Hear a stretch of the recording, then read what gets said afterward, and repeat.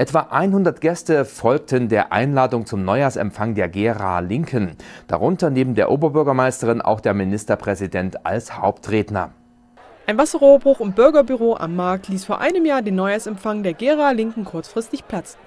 Der Neujahrsempfang in diesem Jahr fand statt, auch wenn einer der vier Feinde des Sozialismus, der Winzer, für etwas Verspätung des Hauptredners sorgte, wie dieser mit Augenzwinkern erklärte. Thüringens Ministerpräsident Bodo Ramelow schaffte es trotz Staus, den rund 100 Gästen in den renovierten Räumen einen Querschnitt der aktuellen politischen Themen in Thüringen und Gera zu vermitteln.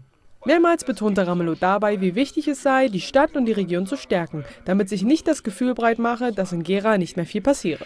Dieses Gefühl wäre kreuzgefährlich für die Stadt und damit für die ganze Region. Dieses Gefühl wäre aber auch zutiefst falsch. Hier passiert nämlich ziemlich viel.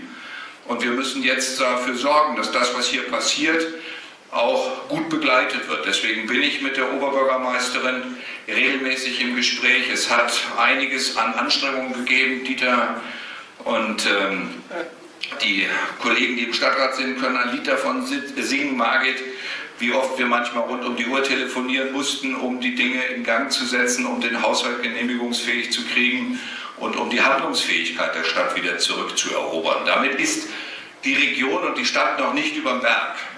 Aber sie ist auf einem Weg, bei dem ich sage, wenn man jetzt die nächsten Schritte so weitergeht, dann wird diese Stadt auch wieder eine starke Ausstrahlung haben. Bewegung soll auch in die Sanierung der Gera Schulen kommen. Deshalb unterstützt Ramelow das Vorhaben, den möglichen Kaufpreis für das ehemalige Bergarbeiterkrankenhaus als Investitionsmittel für diesen Zweck einzusetzen. In dem Sinne wünschte er sich und den Gästen, zu denen auch Vertreter der Stadtratsfraktionen von SPD, Grünen, CDU und Arbeit für Gera gehörten, eine friedliche Zukunft in einer verrückt gewordenen Welt.